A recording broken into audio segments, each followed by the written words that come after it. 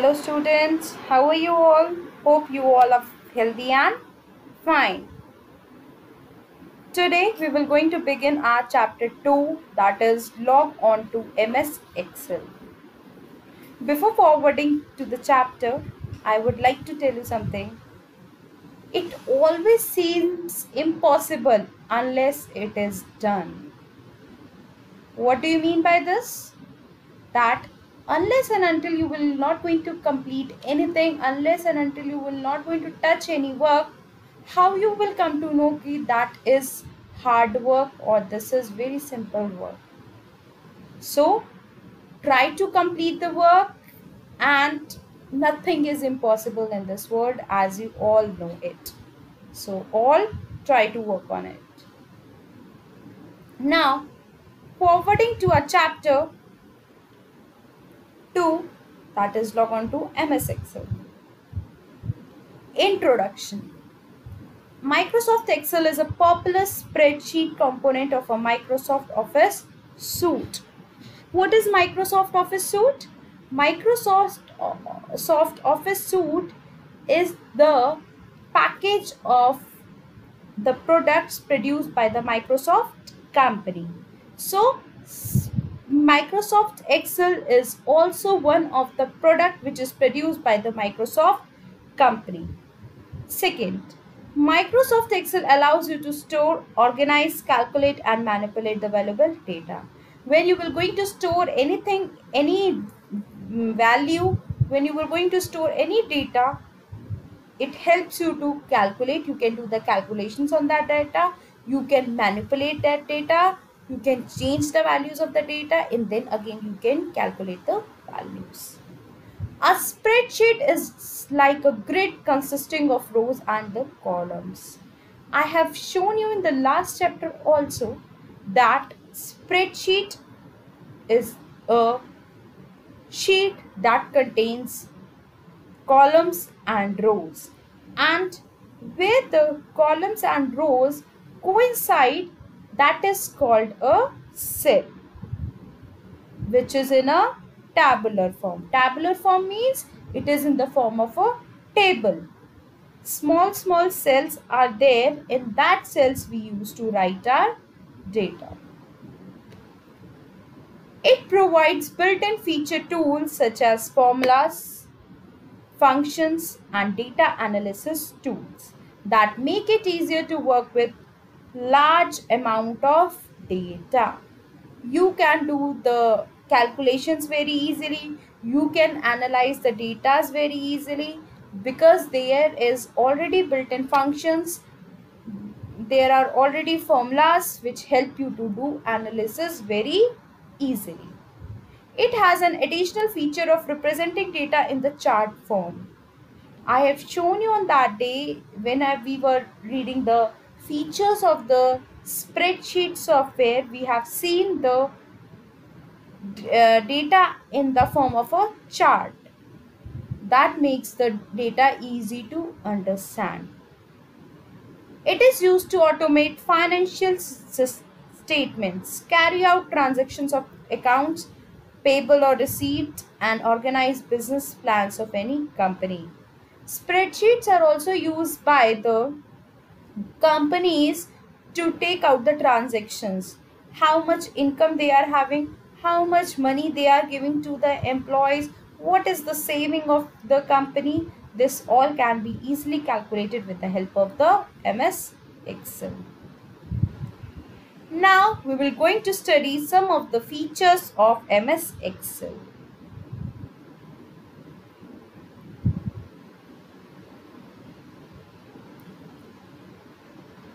So first feature is add header and footer. We can add the header and the footer in the MS Excel sheet. How? What is header and footer? We can give a heading to one MS Excel sheet that can be used in all the sheets. As many sheets you will use, that heading can be in all the sheets. And what is footer? If you write anything in the bottom of the sheet in the foot of the sheet that will be there in the sheet all the sheets Find and replace command. MS Excel allows you to find the needed data in the workbook and also replace the existing data. You can find any word in the MS Excel document and you can replace with any other word if you want to replace it. Easily with the help of the find and replace command, you need not to type every time, you need not to search every time this word. You have to just apply find and replace command. The command itself saying find the word and replace with another word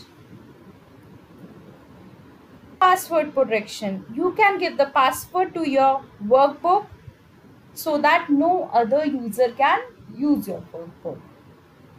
Data filtering. It makes your data easily analysis. This feature makes your data analysis very easily. Now there are two types of the filtering ranges. With the help of the these two commands, we can filter our data very easily. First is auto, auto filter which makes filter by selection. You can select any area, you can select any range of the cells and then you can apply the auto filter there. For more complex criteria, if the calculations are very complex, if there is something very complex written, you can apply the advanced filter there. Next, we are having data sorting. It is the process of arranging data in some logical order. You can arrange your data in the logical order. Either you can arrange it in descending order, you can arrange it in ascending order, you can arrange the uh, data in A to Z, you can arrange your data in Z to A.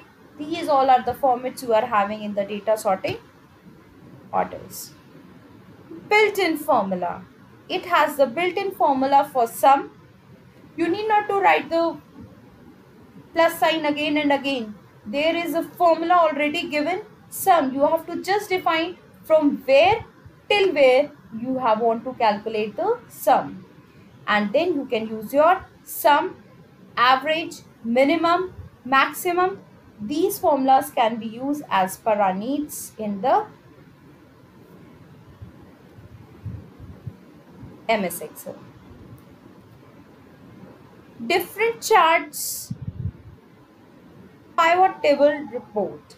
MS Excel allows you to create different charts such as you can create the bar graph, you can create the pie charts, you can create the line graphs. This helps you to analyze and compare the data very easily. Uh, nowadays you can see in the even on the news channels they used to show you the areas where the COVID rate is high. With the help of the MS Excel they used to calculate they can draw that chart and they can show you very easily. And what is the use of it? The with the help of these charts you can analyze the data very easily. Automatically edits the result. You can edit the result very easily. You can change the result very easily. If you want to make any changes in the cell you can do it very easily. Formula auditing we can graphically display or trace the relationship between cells and the formulas with blue rows. With the help of the rows, you can you can trace the relationship between the cells and the formulas. We can trace the precedents, the cells that provided data to a specific cell or the dependents, the cell that depend on the value in the specific cell. If you provide any data from the cell, that is called the precedent and if any cell is dependent on any other cell that is called the dependents of the cell. This is called the formula auditing. Now how to start the MS Excel sheet? Click on the start button. First of all click on the start button, move your point pointer over the program option. Open the Microsoft Office option. Click on the Microsoft Office Excel. This is, we are talking about the 2007. And how to open the Excel in 2010, I have shown you on that day. Click on the start button. Click on the Microsoft Office from there and take the Microsoft Excel from there and you can open a new workbook. When Excel is started, a new blank page is titled. When you will going to click on the new blank page, you can see the title of the book will be Book 1 Excel is opened automatically. Now we will going to study the components of the MS Excel window. First is the title bar. It is located on the top of the window which gives you the file name of the program on which you are currently working. It tells you the name of your file and it is present at the top of the MS Excel window. Second, menu bar has the words home, insert, page, layout, references, mailings, review and view across the top. On the top below the title bar you can see there is one menu bar on which all the tabs are there that is home tab, insert tab, page layout tab, references tab, mailing tab, review tab, all these tabs are present. That row is called a menu bar. Each of these tabs open up to into own ribbon when you click on them to show you further options. When you will going to click on these any of the tab that will going to show you the different options, different commands which are under that tab. Next is ribbon. Rows of buttons that perform various actions used in creating and editing your document. On the top whole ribbon is there that is having the functions to perform like editing. You can create your document, you can edit any document in the ribbon. Ruler. Ruler you can simply say it is a scale that is present on the margins. You can use the ruler to set the tabs, indents and margins. You can set how much indentation you want, how much spacing you want, how much margin you want that all you can set with the help of the ruler. Now scroll bars. It is located on the right side of the bottom of the screen. On the bottom of the screen above the zoom tool, you can see there is a scroll bar. By clicking on the arrows at the ends of the scroll bar, you can move up and down or left and right through your document. If you want to move your document up, left, right, left, up, down, right, left, anywhere you want, you can use these scroll bars to scroll bars to move into your MS Excel document. Microsoft Office button. This is present only in Office 2007. It is not present. This button is not present in 2010. It is located on the upper left hand corner. Those who are working in Office 2007, they can see this Microsoft Office button. It is the menu button where you will find new, open, print, etc. These all are the commands that are present in the Microsoft Office button how to create a new workbook. This is they have shown you in the figure also. You can click on the new and you can click on the blank workbook. When you are going to click on the blank workbook, you will be able to see a new document is there. An Excel document is called a workbook. A workbook always has at least one worksheet at least one worksheet will be there on which you can work. How to create a new workbook. To create a new workbook, click on the File tab. The Backstage view will appear. If you want to create a new workbook, these are the options, these are the steps that you have to follow. You have to click on the File tab. After that, click on the New. After that, choose the blank workbook from there and from after that, click on the create button. When you will going to create click on the create button you can see your new workbook there. Now what is the difference between a worksheet and a workbook? We're going to see what is the difference between both of them. Worksheet and workbook. Worksheet first of all. An excel worksheet is a single spreadsheet that contains cells organized into rows and columns it is a single spreadsheet. that is having all the rows and the columns. A workbook is an Excel file that contains at least one or more worksheets. Workbook is a part of a MS Excel that is having one or the more worksheets. A worksheet begins with the row number 1 and column A. In a worksheet, all the columns are defined by the letters A, B and C and all the rows are defined by 1, 2, 3, 4 and so on. Workbook. Each of the workbook worksheets are in separate tabs on the bottom of the Excel window. On the bottom of the Excel windows, you can see sheet tabs are there on which number of the sheets are there. Sheet 1, sheet 2, sheet 3, sheet 4 and so on. Each cell can contain a number, text or a formula. You can either enter a number text formula special symbols whatever you want to add you can add, enter into the cell. By default a new excel workbook will contain three worksheets. When you will going to open a workbook that will going to have at least three worksheets or at least one worksheet you can switch between these worksheets by clicking on the sheet tabs and you can click on the move from one sheet to the another Worksheet. A cell can also refer another cell in the same worksheet, the same workbook or a different workbook. The cell can take, one cell can take the value from the another cell in a worksheet. You can switch between the worksheets by clicking on the worksheet tab from one worksheet to another worksheet in an Excel window.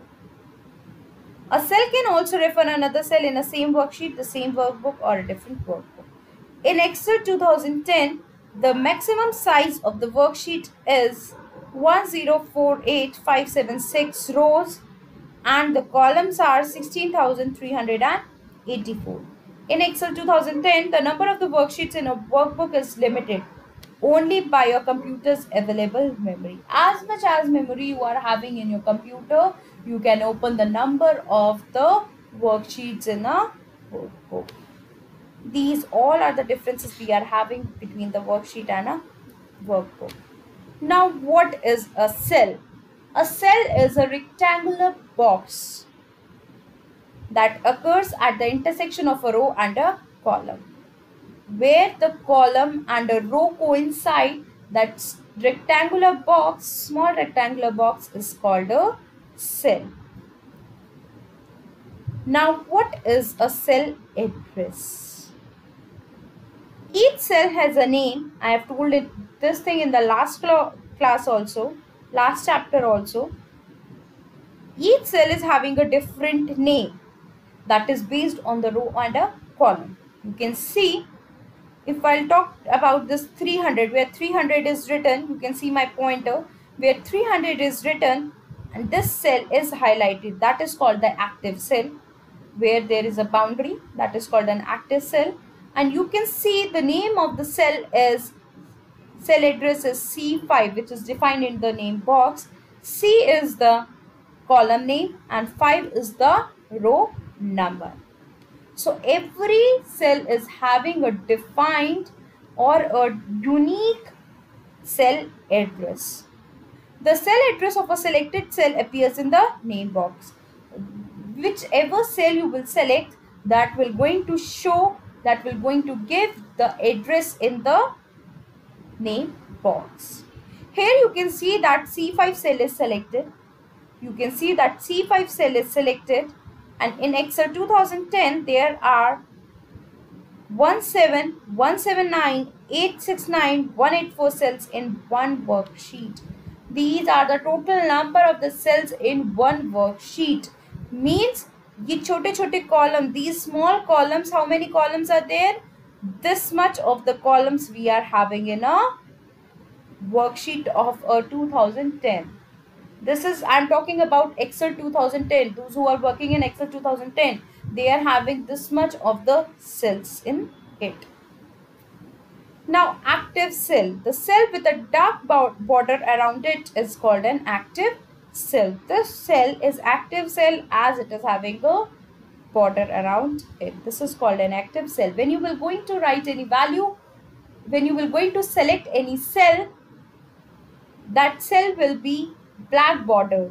वो cell black border से boundary black border colour की हो जाती है that is called an active cell and the name and the address of the cell will be defined in the name box which is on the top where C5 is written you can see now how to enter a data in a cell how we can enter a value we can enter any special character we can enter any number whatever you want to enter in a cell how you can enter it click in the cell where you want to enter the data. The cell becomes active. Whenever you want to select any data click on that cell.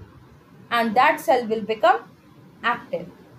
Uh, as there will be a black bordered boundary around it this means that this, that cell is an active cell. Now what will be the second step? You can type the data in that. You can type any number you can type any alphabet you can type any special symbol whatever you want to type you can type in that cell. Step 3 press the enter key to confirm your data entry. After entering the value whatever you want to type in that cell press the enter key. That will show you that the data is confirmed. Whatever the data you have entered it is stored in that cell. The cell below the current cell becomes active cell. As soon as you will going to press the enter key the cell next below below matlab niche the cell below to that cell will become an active cell that will have a boundary around it. Now we are having the two buttons accept button and the cancel button. We will going to study what these buttons tell you on the ms excel they have shown you in the figure also where the formula bar is there. Fx is written this is your formula bar. And there are two signs. First is cross sign which tells you the cancel button. And second one is the right sign. This means this is your accept button. The accept button is used to keep the data that is entered and is equivalent to pressing the enter key. If you are typing any, you are typing any data in any cell, you can press this tick button also or you can press the enter key. This means that the, uh, the data you have stored in that cell is confirmed. You can take the help of this tick box also tick also or you can press the enter key both these are options can be taken then uh, next one we are having the cancel button this cross is your cancel button. This is used to reject the data that you entered in the cell. If you have entered any data in the cell and you don't want to save that you want, don't want to enter that values in that cell you need not to press delete key or the backspace key. What you can do you can press this cross button so that whatever the value you have entered that will going to delete by itself only. You can also use the escape to cancel the data entry. If you don't want to enter the data either you can press this cross button that is your cancel button or you can press the escape key so that the value will not be stored in that cell. Thank you class. Please go through with the tutorial.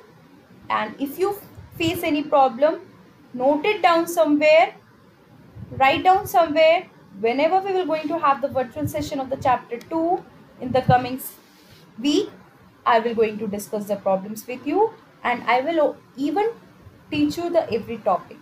Okay class? Thank you